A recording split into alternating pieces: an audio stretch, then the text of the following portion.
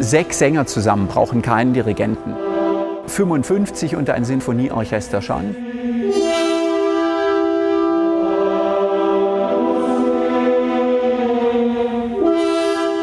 Nochmal eins in Excel. Sie brauchen als Dirigent eine Vorstellung und diese Vorstellung ist eine Sache des Gefühls, aber es ist auch sehr stark eine Sache des körperlichen Spürens. Das ist der zweite Alt, das ist der erste Alt, das ist der zweite Sopran, das ist der erste Sopran. Wenn wir sagen, das ist ein abgrundtiefer Kontrabasston. Und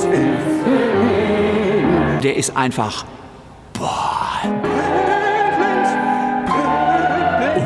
boah, ist ein Körpergefühl. Lasst uns bitte machen. Ähm, wir spielen von vorne. Eins und.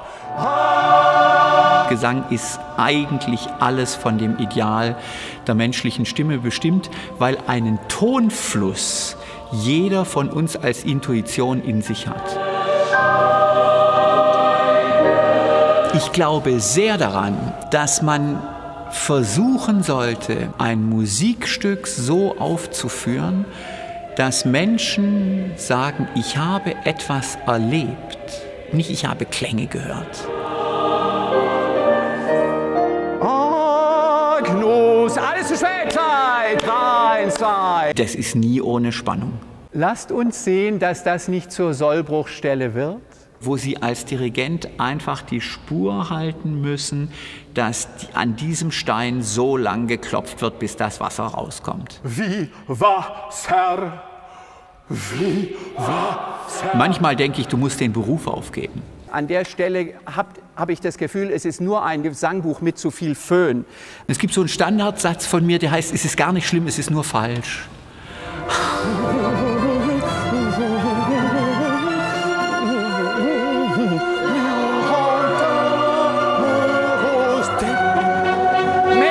Ich kann nur sagen, dass uns in der Kantorei St. Katharinen einfach die Freude an der Musik stimuliert.